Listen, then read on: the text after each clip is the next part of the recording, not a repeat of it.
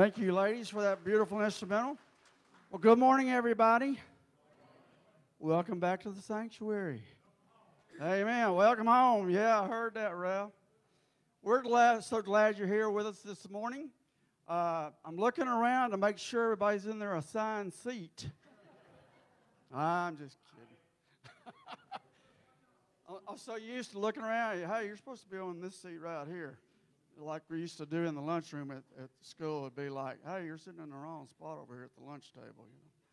We're so glad that you're come here this morning to worship with us. I'm going to ask Brother Chuck if he would come up and uh, lead us in prayer at this time. Chuck. Pray with me, please. Dear Heavenly Father, Lord, we thank you, we thank you, we thank you, Lord, that we can actually come back to our sanctuary and worship you, Lord. Lord, I ask that you look over this congregation, this church, Lord. May we continue to do your work like we have in the past, Lord. I pray for each and every family that is represented here today, the church, the staff, everything that goes on in your house, Lord. Lord, let us not forget that we get to come to church. We don't have to come to church, Lord. Lord, I think that this past year has opened a lot of hearts and, and minds about this, Lord. Lord, I just ask that you pray over each and every one of us. In God's holy name I pray. Amen. Right, just a couple of announcements before we get our service started here. Uh, we've been asked to remind you there are offering plates in the back here on both of the tables back there. If you don't use those in the back, we've also still got the box available on the door on the back side of the church there. So that'll be for our offering for the next X amount of weeks or however long we're going to continue doing that part of it. Also, all of our children here today, uh, when we start the congregational song service, uh, Chuck and Alyssa sitting up over here. Uh, you need to go back to the back with them uh, when we start the congregational singing. We have a real special treat this morning. We have one heart in the building. Yeah, they're right over there. And uh, anyway, they're going to open up our service. But I want to say this to you. This is the day the Lord has made. We will I'll try it again. Let's put it on at this time, all right? This is the day the Lord has made. We will. Amen. One heart, are y'all ready? They're going to open up. Come on up.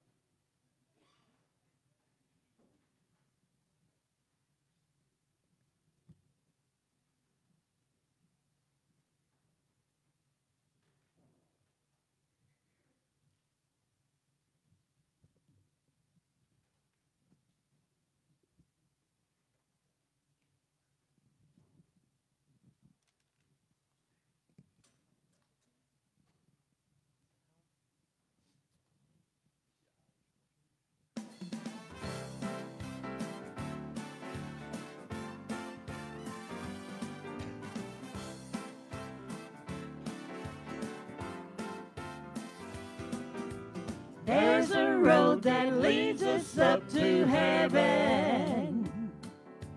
We can travel it holding his nail-scarred hand. Jesus will lead us safely up to heaven. When it's time to leave this sinful land. I'm on the road. I am on the road that leads to glory. Road that leads to glory. It's the heavenly road traveling on. I am traveling on. It's the road. It's the heavenly road that leads to glory. Road that leads to glory. I am heading to my heavenly home.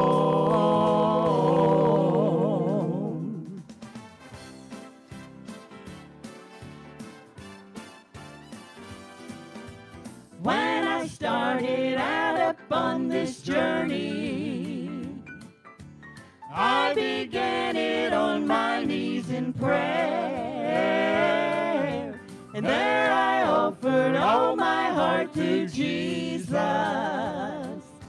While he leads me as I'm traveling there. I'm on the road. I'm on the road that leads to glory. That leads to glory. It's that heavenly road I'm traveling on. I am traveling on. Heavenly road that leads to glory. Road that leads to glory. I am heading to my heavenly home. I'm on the road. I am on the road that leads to road glory. that leads to glory. It's that heavenly I'm road. traveling on. I am traveling on. It's the road. It's that heavenly that road. leads to glory. road that leads to glory. I am heading to my heavenly home. It's that heavenly road, that road that leads to glory. I am headed to My heavenly, My heavenly home.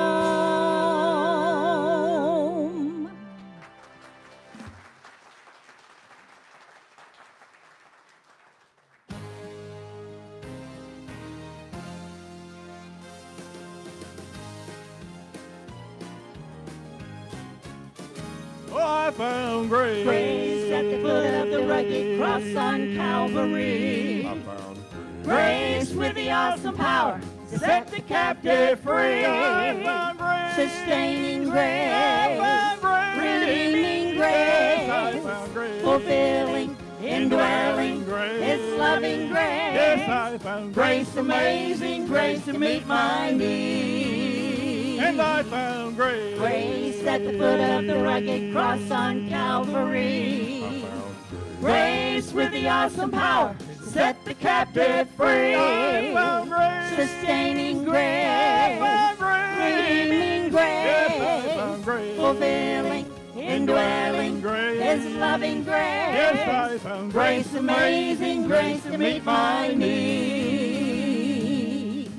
I sought for wisdom and the ways of this world, but no wisdom could be found. I sought for meaning in the words of great men, but their words just let me down.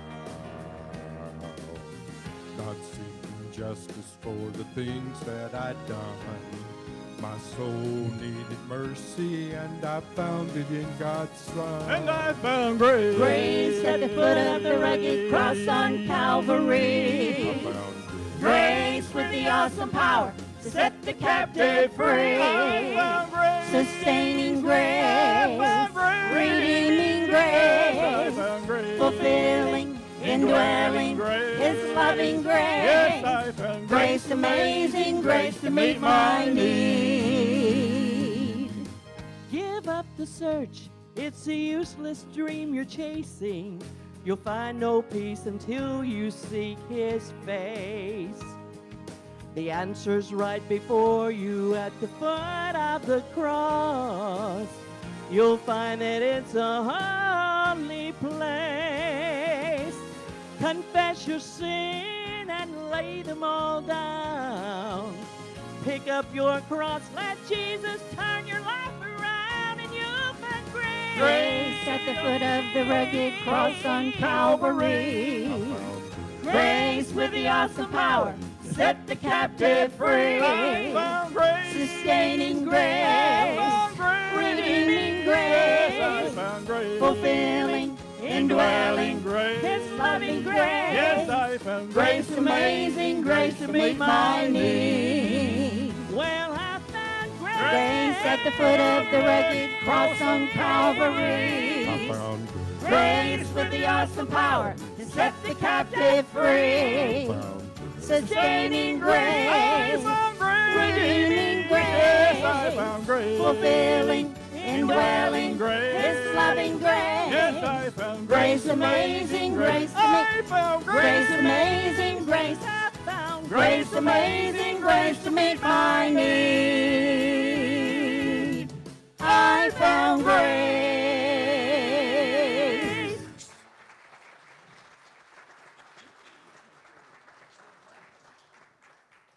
All right, thank you, One Heart. They'll be coming back in the service a little bit later on. If you would, all of our kids come on up front. So, Chuck, I'll remember that because I'm not used to doing that for the last year and two months, all right? Anyway, all of our kids come up and join Brother Chuck. And y'all all stand with me, and we're going to continue our worship service by singing a medley of songs. We're going to start out with Blessed Be the Name.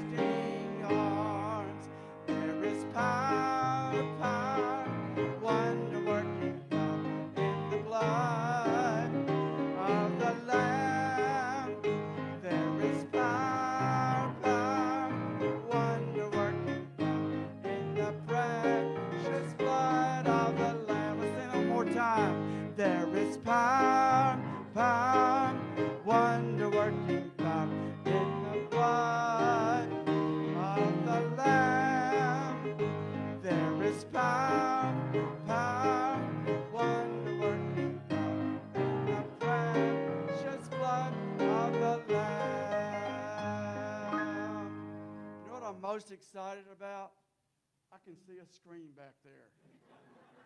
Because for the last year and two months, I've had 45 books. If y'all ever seen my stands across the stage?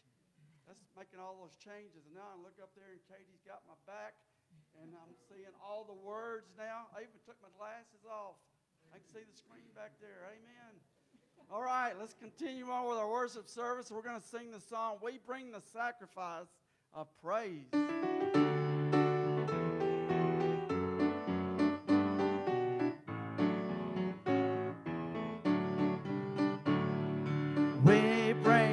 Sacrifice of praise into the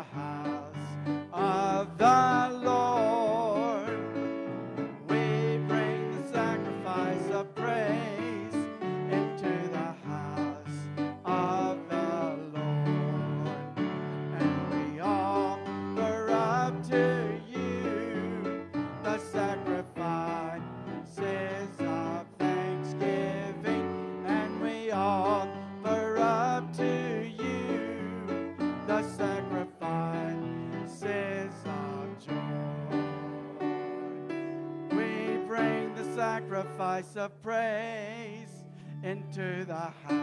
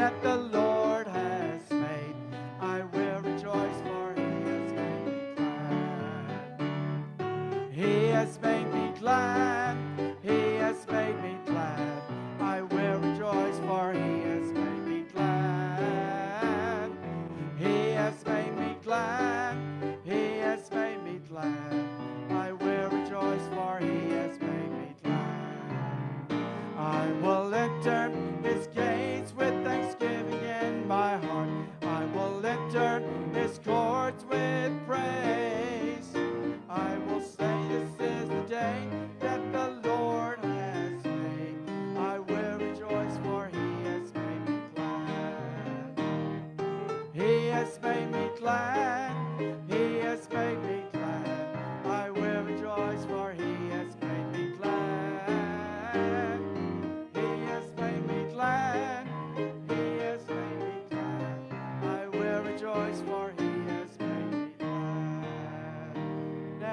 Deal.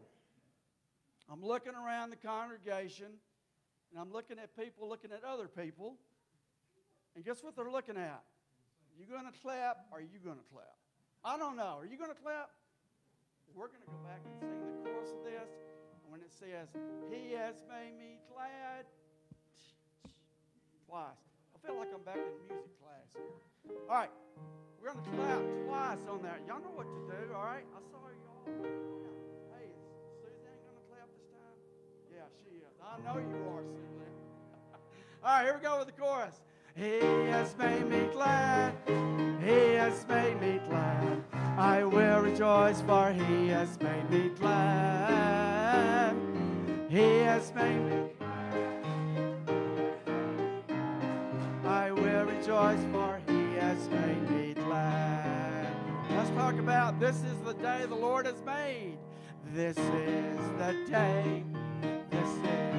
Day that the Lord has made. That the Lord has made. We will rejoice. We will rejoice and be glad in it. And be glad in it. This is the day that the Lord has made. We will rejoice and be glad in it. This is the day, this is the day that the Lord has made. Let's sing that one more time. This is the day, this is the day that the Lord has made, that the Lord has made. We will rejoice, we will rejoice and be glad in This is the day that the Lord has made. We will rejoice and be glad in it. This is the day, this is the day that the Lord has made. Everybody said, Amen. You may have a seat. Before I bring one heart back up here, I'm going to introduce our special guest speaker today. His name is Brother Jared Grimes, and he comes over from Woodmont Baptist Church. He's their youth pastor over there, and he even brought his dad this morning with him. Uh, so this is Brother Jim up here. Brother Jim Grimes. I got that right, didn't I, Brother Jim? Okay. But anyway, One Heart is going to come up and do another song for us, and then uh, Brother Jared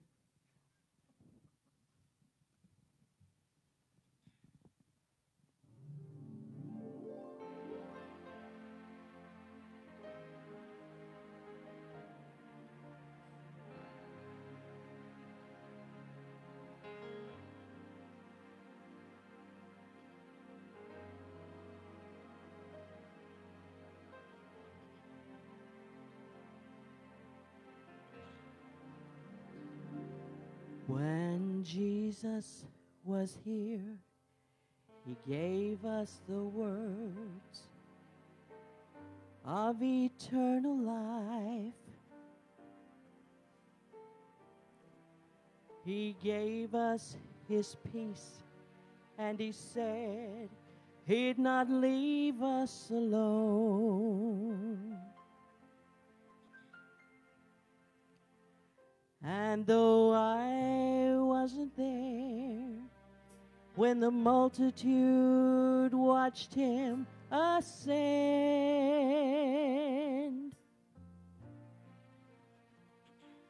two angels in white announced he would come back again.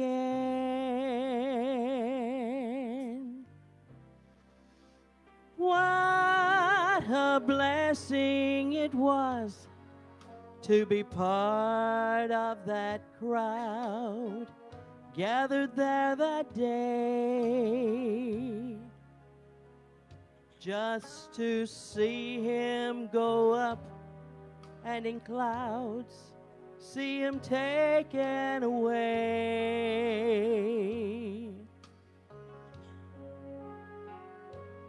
But I know in my heart that a greater blessing waits now for me. Cause I am part of that crowd that's been watching the skies faithfully. My eyes shall see King Jesus when he comes in clouds of glory. If I am sleeping, I'll be awakened from the grave.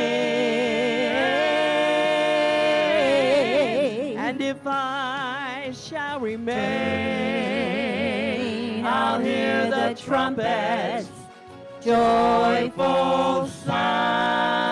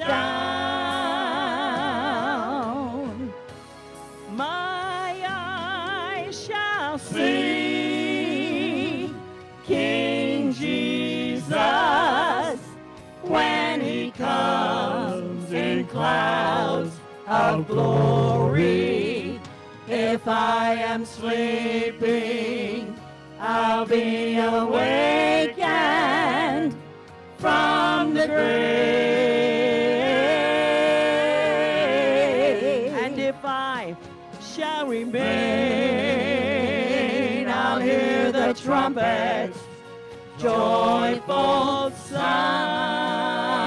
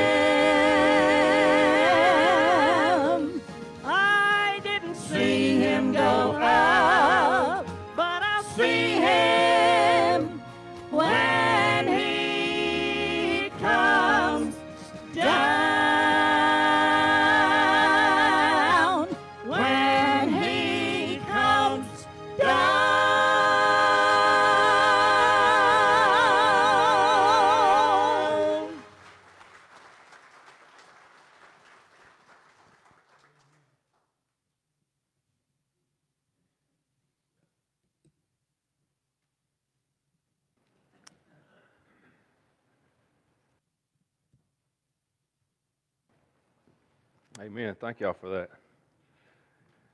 Good morning. If you have your Bibles, uh, turn with me. The book of 1 John, chapter 5. 1 John, chapter 5.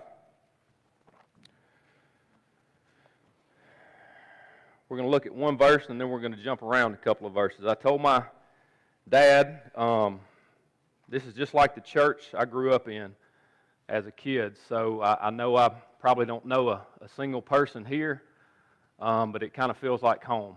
And the unfortunate thing was I didn't get saved at a young age when I was a child. Uh, eight years ago, just a little bit about me before I start. Eight years ago, I was a drunk. I left my wife, and uh, all I cared about was uh, drinking and partying. I was a violent person. I was a very selfish person. Um, I was in the military at the time, and God saved me in a barracks room in Korea. And He changed my life. He transformed the way I think, the way I talk, the way I love my wife, and thank God He restored my marriage. Uh, gave us two beautiful children, a seven-year-old boy and a five-year-old little girl.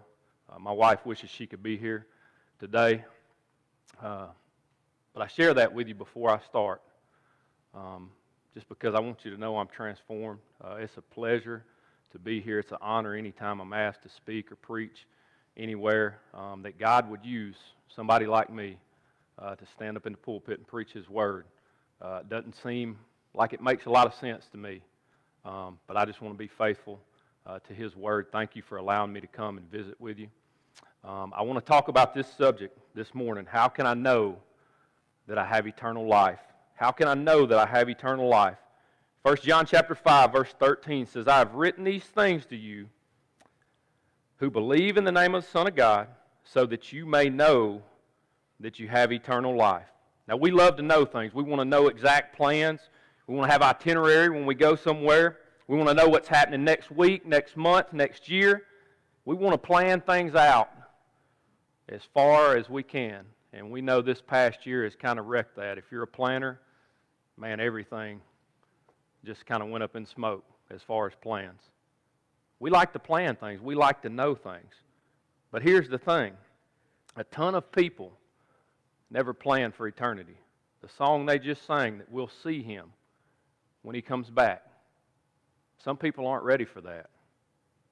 Have you ever thought about where you'll spend eternity? Most people may give it a thought or two, but they move on to what's going on in their life. We were at the ball field all day yesterday, and we love it. Had a good time. But man, that's not important. I'm thankful to coach with two guys that we want to be godly examples for the boys, and that's the only reason we coach. We want to help them get better at baseball, but we want to be godly examples for them, and we pray that they come to know Christ uh, through something we share with them. We pray that we share the gospel clearly with them. Uh, people plan for different things. We worry about all these different things, and some people just simply don't want to think about it. Well, just because you put it out of your mind or put it off doesn't mean that it's not coming. Listen to me vacation, trips, ball schedules, holidays, they all come and go. But eternity, as we know, is forever.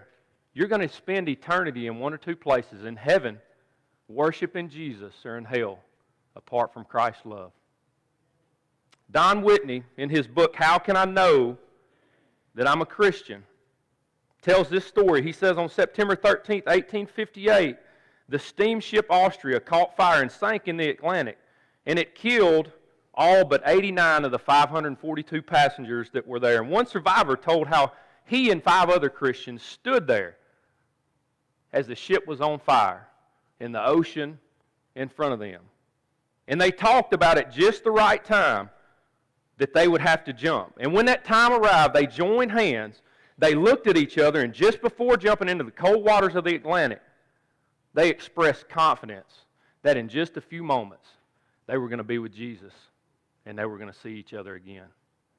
What a beautiful way to meet death. What a joyful thought to imagine that you're going to enter heaven in just a few moment, moments with family or friends. Most of all, what a wonderful thought that at, at the moment of death that you can have confidence that I'll be with Jesus.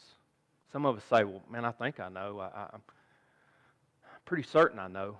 I, I sat in a church pew, man, my whole life until I got saved, and I tried to convince myself that I was a Christian because I walked down, I prayed a prayer, I was baptized numerous times, and the only thing about any of those professions was I was scared to go to hell. I didn't want Jesus to be the Lord and Savior of my life. I didn't want to give my life to Him. I had false assurance.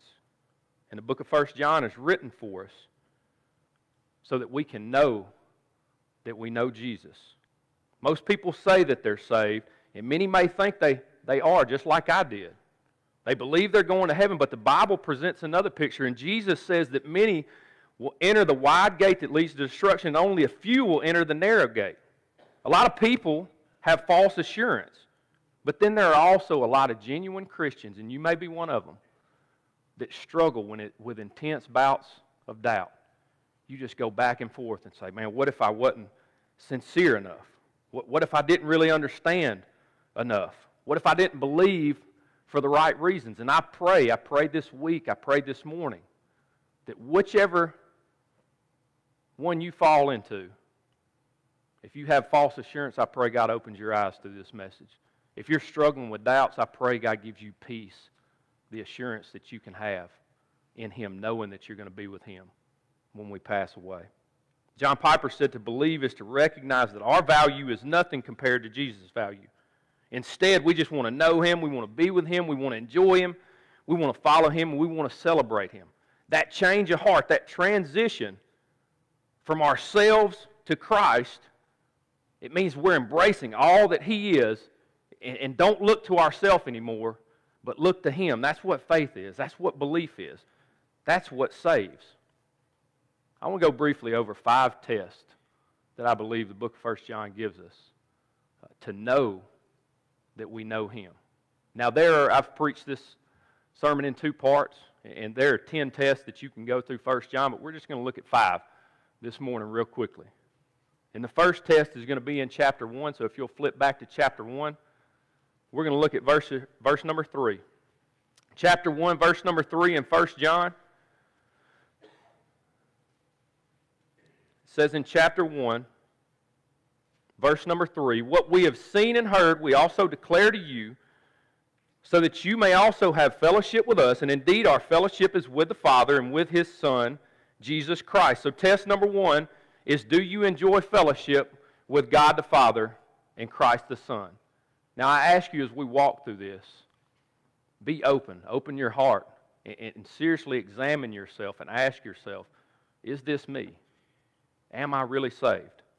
What is fellowship? Fellowship means that we share in things. We're partakers. We're partners. The Christian is one who has become a sharer in the life of God. We share in his interest and in his great purpose.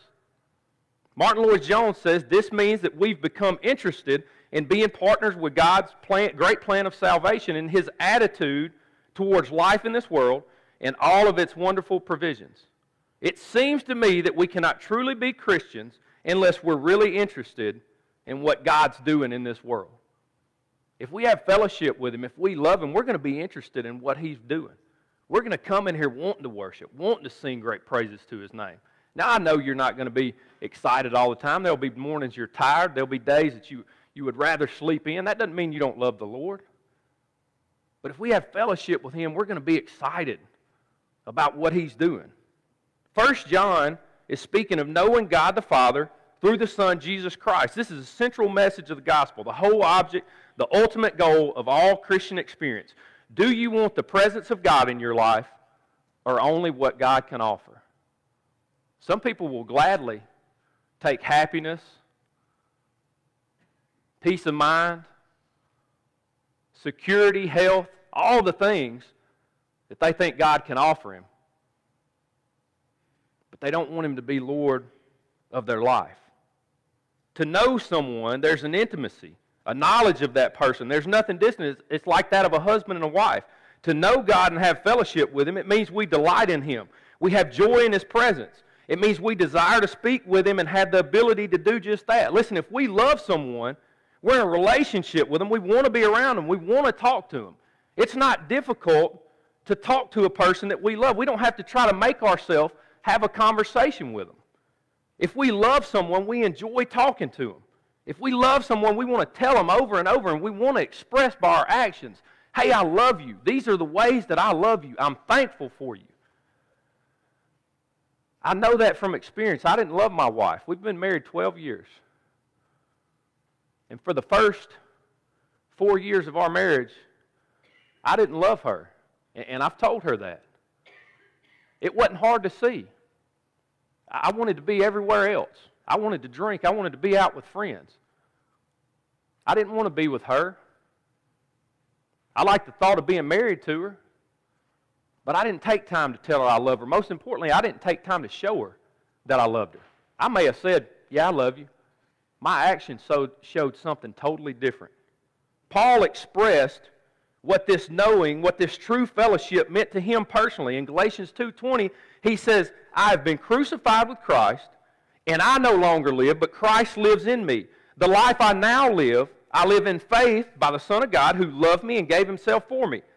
Paul experienced the presence of God in his own life so much so that he said, "Look, I'm not even the one that lives anymore. Christ is the one that lives in me, and my life is completely his to do what he wants." I've given everything up to Him. I've given total control to Him to do what He wants with me. Listen to me. Let me ask you is that your experience? Does Christ live in and through you? Do you experience His presence in your life. If we're truly Christians, we should be walking with God. We should be speaking to Him, delighting to praise Him, and anxious to know more about Him. And not only fellowship with Him, man, we should love coming together with other believers. I didn't say you're going to love every one of them dearly, but I love being around believers. Man, I love people that I can talk to about what God is doing in our lives. I love to just say how thankful I am for what God is doing in my life. So that's test number one. Do you have fellowship with God? Test number two. Look at verse 6 through 8 in chapter 1. It says, If we say that we have fellowship with Him and yet we walk in darkness, we are lying and we're not practicing the truth. If we walk in the light as He Himself is in the light, we have fellowship with one another, and the blood of Jesus, His Son, cleanses us from all sin. If we say we have no sin, we're deceiving ourselves, and the truth is not in us. But if we confess our sins, He is faithful and righteous to forgive us our sins and cleanse us of all unrighteousness. Praise the Lord. Test number two Are you sensitive to sin? Is there an awareness and a confession of sin in your life daily? Do you know when you sin? John is saying here in this passage and throughout the book that a verbal profession needs to be tested to see if a person's behavior actually shows that he's been affected. Has there been a change in your life? Those that say they love God and walk around in sin or in darkness, he says you're liars. And you're not practicing what you preach. It was a common problem, and the reason why John wrote this letter was because there were false teachers that were saying that you could live however you want, do whatever you want, and still be saved. John is saying, listen, that's a lie. That is a lie. And I'm writing this book so you'll know. Listen, that wasn't just back then. This is what we still deal with today. I would come to church every Sunday. Man, my dad made me go to church, and I'm thankful for that. Because if my mom and dad hadn't made me go to church when I was 29 years old in that barracks room in Korea, I didn't hear a sermon. I knew the gospel because I had been in church and I had heard it over and over. I was by myself, just me and God. And I prayed and asked Him to save me. I knew all the answers, I knew the right things. I just didn't have a relationship with Him. Heard a story about a known drug dealer in a community, and he was killed, and the pastor stands up to, to do the funeral. And he had the audacity to say that he knew this guy was in heaven. And, and don't misunderstand me here. I'm not judging. That this is how the story went. But he had the audacity to tell everybody in the, in the auditorium that this guy, known drug dealer, uh, was going to heaven. And he said he knew that because this guy gave his life to Christ 20 years ago at a vacation Bible school. He raised his hand, he walked an aisle. And in that 20 years, there had been no repentance, there had been no change of life. He may have been to church a few times. And you may be saying, well, how do you know that, that he wasn't saved? I know because the Bible tells me that you won't walk in sin if you've been changed by the blood. I'm telling you, I used to love that stuff that I mentioned to you the drinking, the partying. I was violent. I would fight. I would do all kind of stuff. And I used to love that stuff. And it makes me sick to think about it now. I have a new nature. I no longer want to do that stuff. If you've been changed, you won't walk the way you used to walk. You can't do it. The Bible says there's no way. There will be an awareness of sin, a confession of sin, and your life will be changed. We've got to get past this belief that just because somebody makes a public profession that they're saved, what does their life say about it? The way they live will show you if a person's saved. The way you live will show you if you're saved. Now, I'm not saying that we won't sin occasionally, but we won't continue to walk in it and love it and wallow in it. The Bible doesn't speak of that. The Bible doesn't teach that. In fact, John speaks to this too as he's talking about these false teachers that one time professed to be believers. In verse 19, don't turn over there, but in verse 19 of chapter 2, he says, They went out from us, but they did not belong to us. For if they had belonged to us, they would, they would have remained with us. However, they went out so it might be made clear that none of them belong to us. These people professed to be believers. They removed themselves from the fellowship of community of believers. They didn't want to be around Christians. They lived in open disobedience to God, and it gave evidence that they were never really changed by the gospel and they weren't believers. As a believer, we are very much aware of sin in our lives, and we hate it. We definitely don't want to do anything sinful. We don't want to live in that. Characteristics of an unbeliever are this they're oblivious to sin in their lives. They don't feel a lot of concern or really notice the sin that's going on in their life. In, th- in fact, if you ask them, everything's going great. They have no sin. They want to redefine what sin is and what it's not. And they'll look at the Bible and they'll say, well, that's not really what the Bible means, so I'm just going to choose to ignore that and live my own way.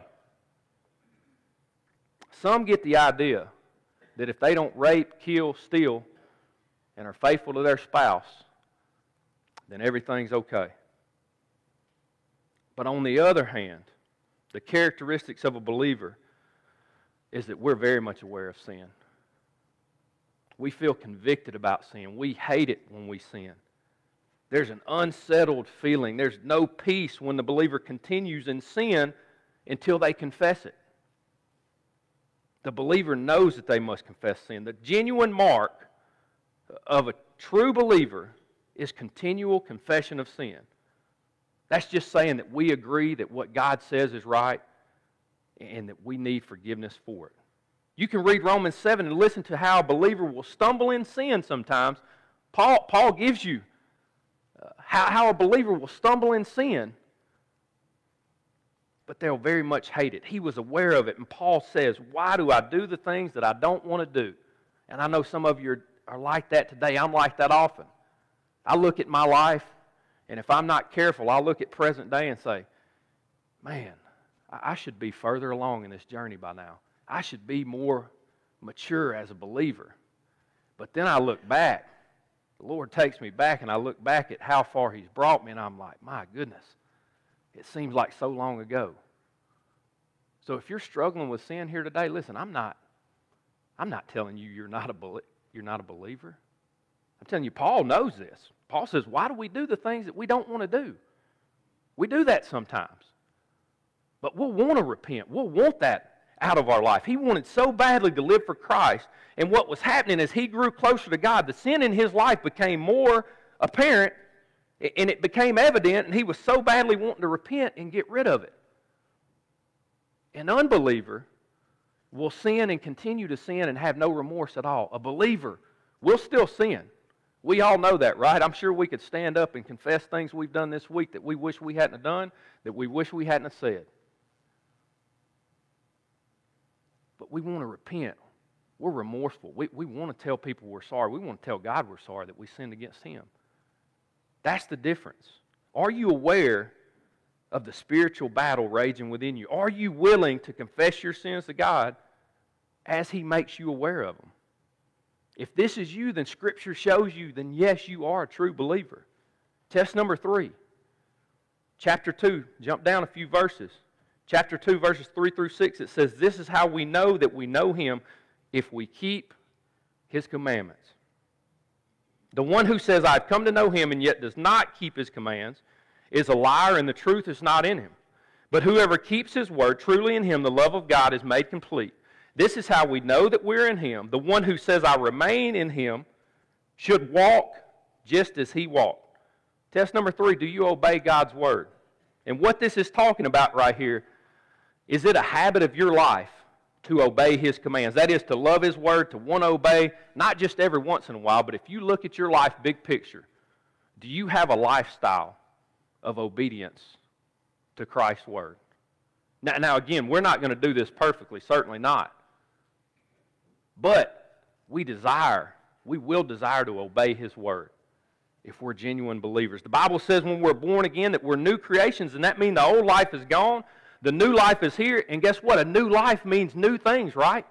We don't do the old things. For a believer, one of those new things is obedience to God's word. So, what does He command? What is it that we're supposed to obey? Well, for starters, we're to do as Christ says and live as He wants. He tells us what to do in John chapter 3, verse 23. He says, Believe in my name, Believe in the name, excuse me, of his son Jesus Christ and love one another.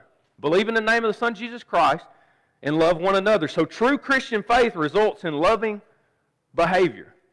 If we're believers, we're going to love people. But commands is plural, so it also means that everything else that God had to say in His Word. It's not selective obedience where we get to pull a verse here or pull a verse there that, that we're kind of good at. It's all of Scripture. These commands encompass all of Jesus' words and teaching. You say, well, hold on. The Bible says we're all sins, and uh, we all sin, and that's real difficult to do. And you're exactly right. It is hard, and we do all sin.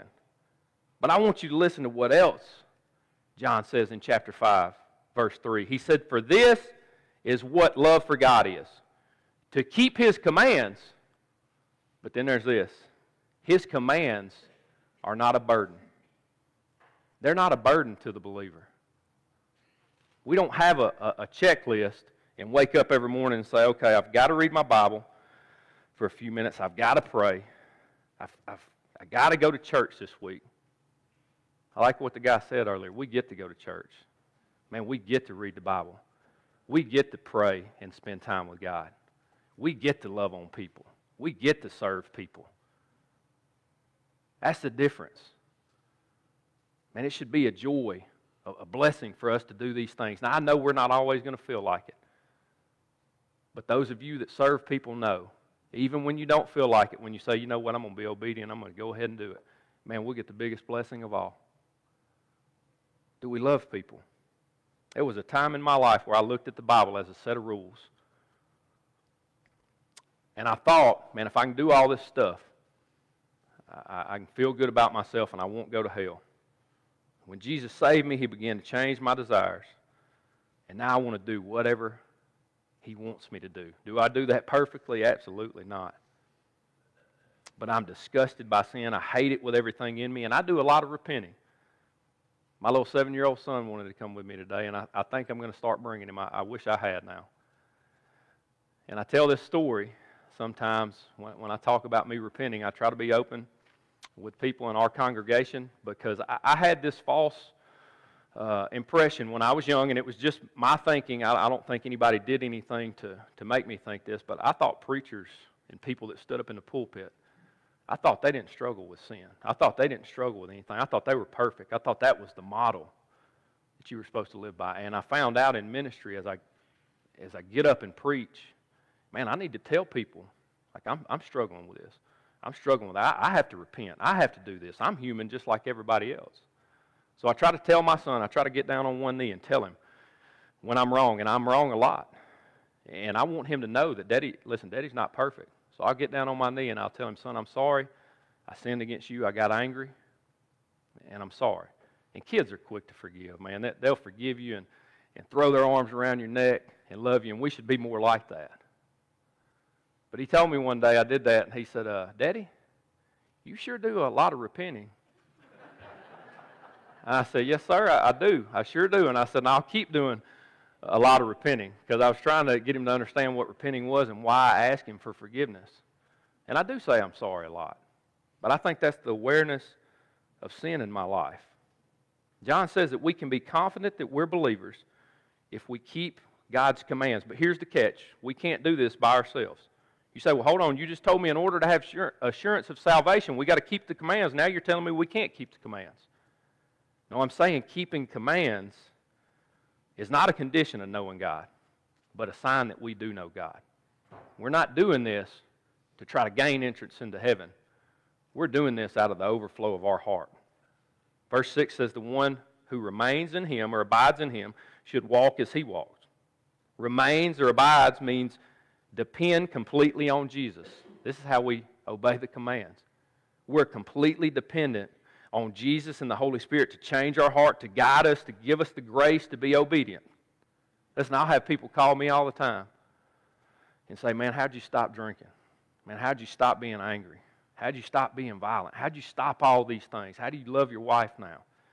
And I think they're looking for a, a, a formula or, or, something. And I say, Man, I, to be honest with you, sometimes my mind is blown.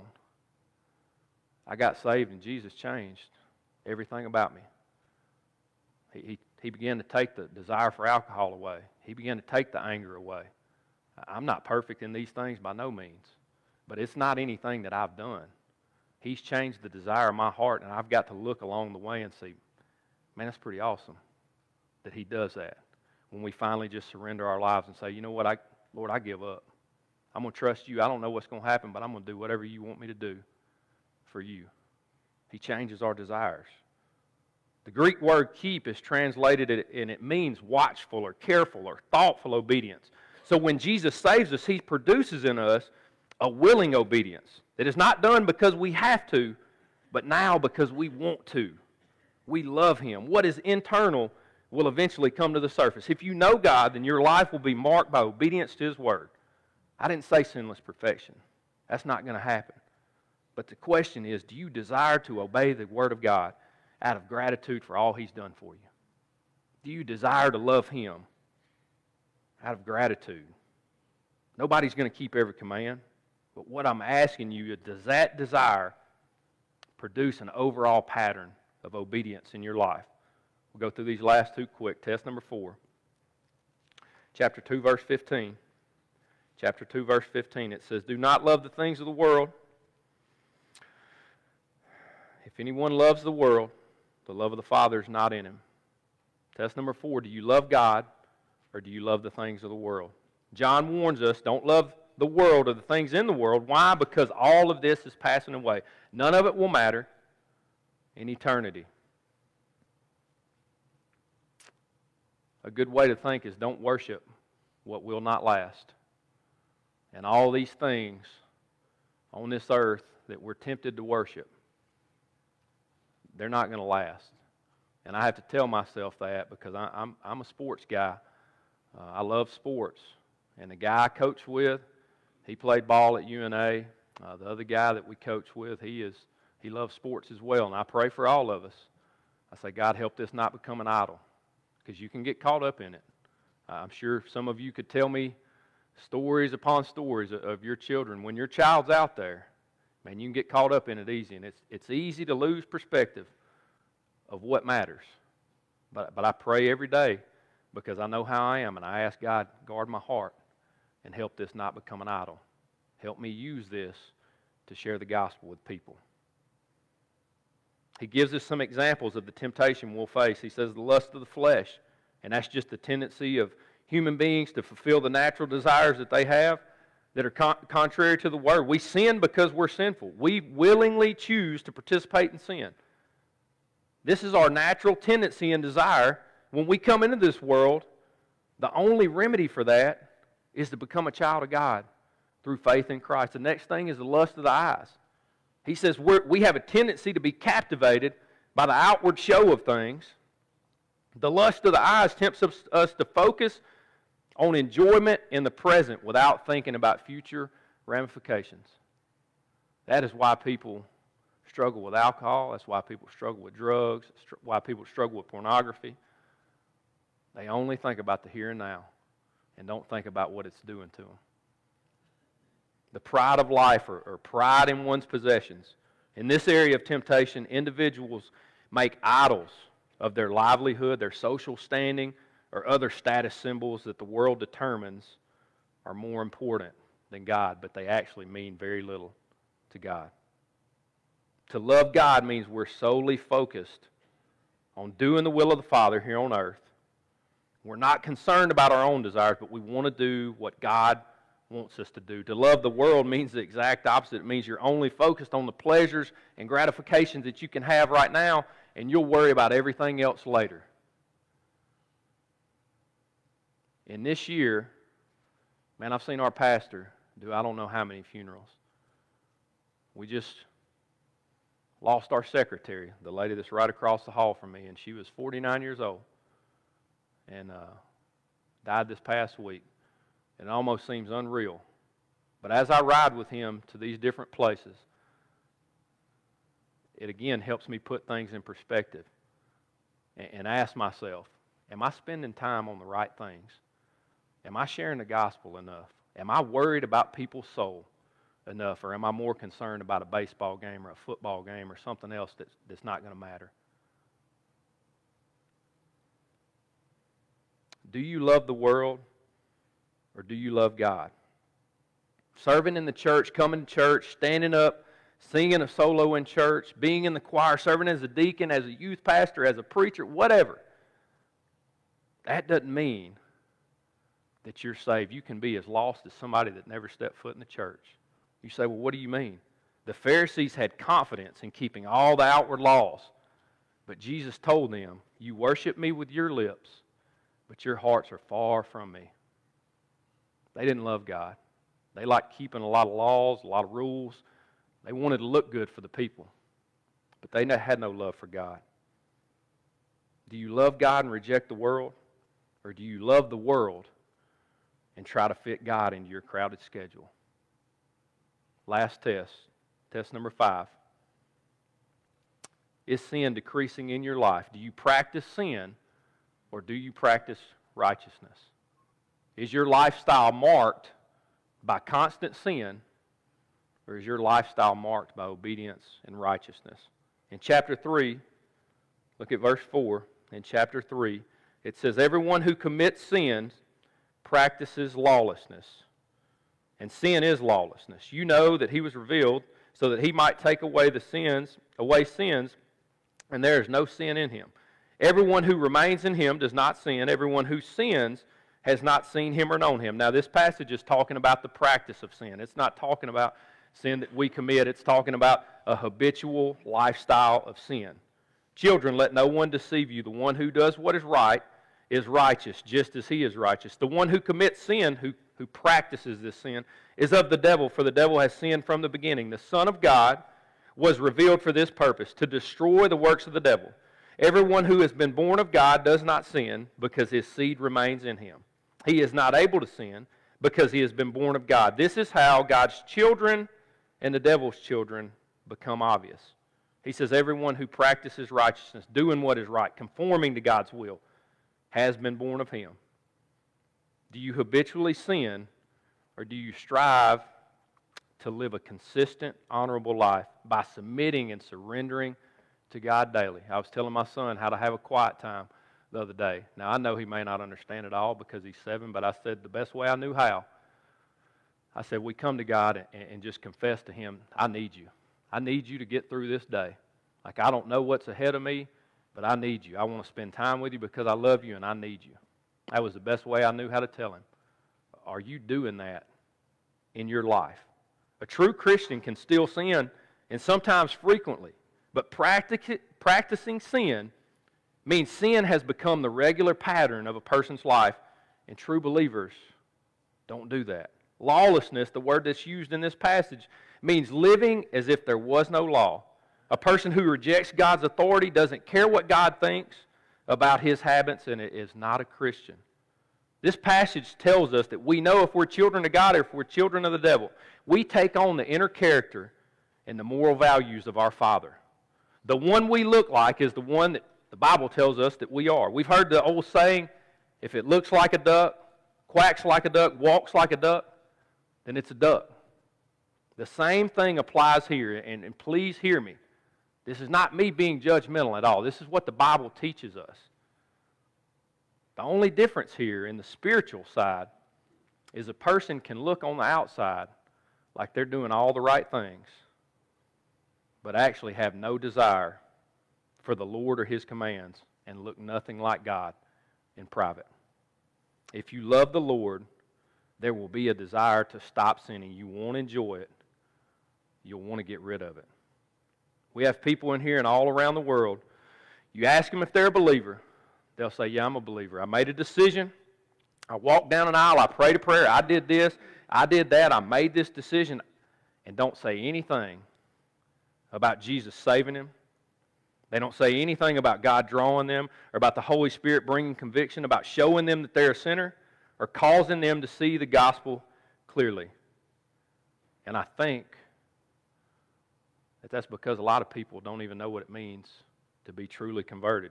Jesus says it's the Holy Spirit who convicts. John 16, 8, he says, when he comes, talking about the Holy Spirit, he will convict the world about sin, righteousness, and judgment. It's Jesus who says the Holy Spirit convicts. It's God who draws them unto salvation. John 6 44 says, No one can come to me unless the Father who sent me draws him, and I'll raise him up in the last day. And Jesus alone saves. He says, I'm the way, the truth, and the life. No one comes to the Father except through me.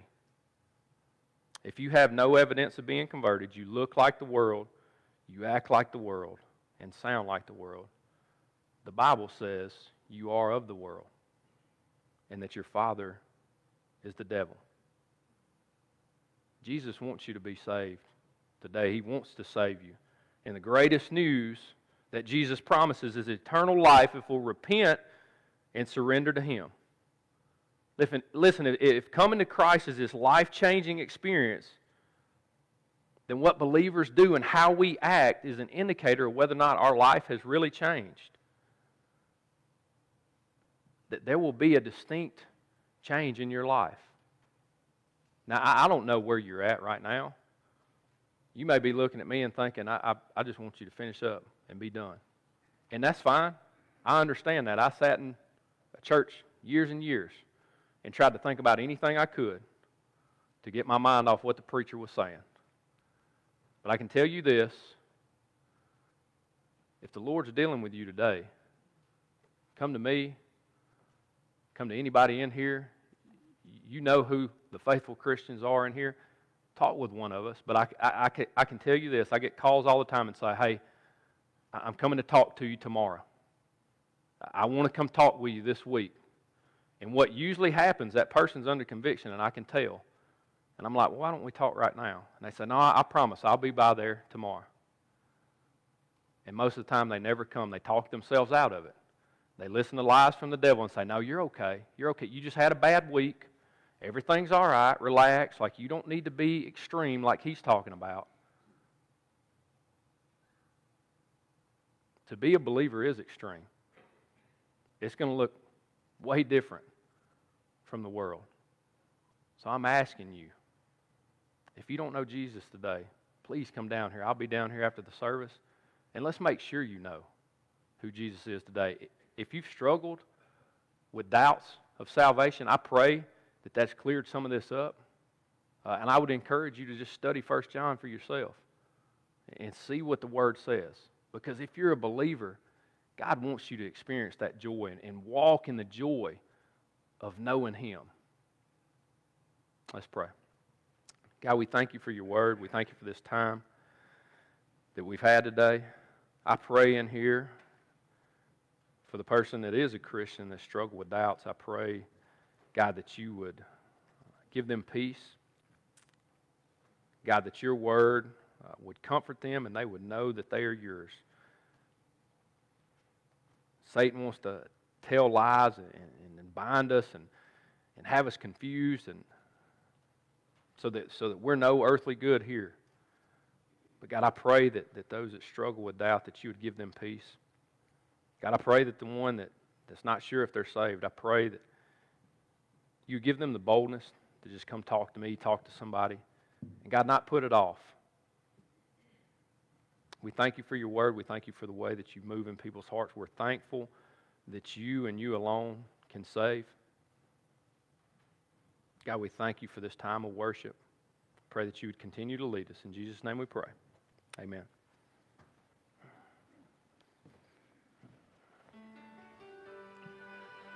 Folks, our altar is open. The Holy Spirit's dealing, will you please come forward? Brother Grimes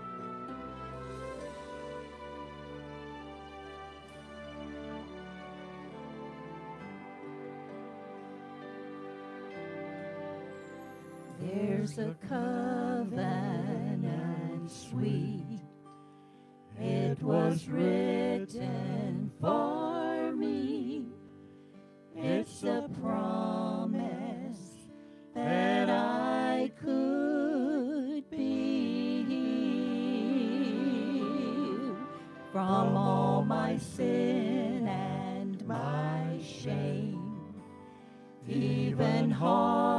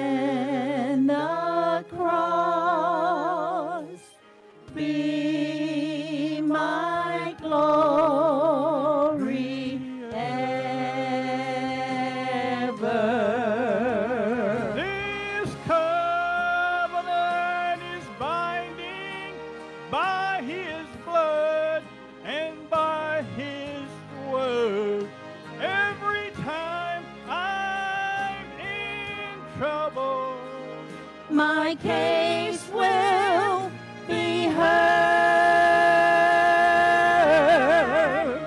I've been justified, satisfied.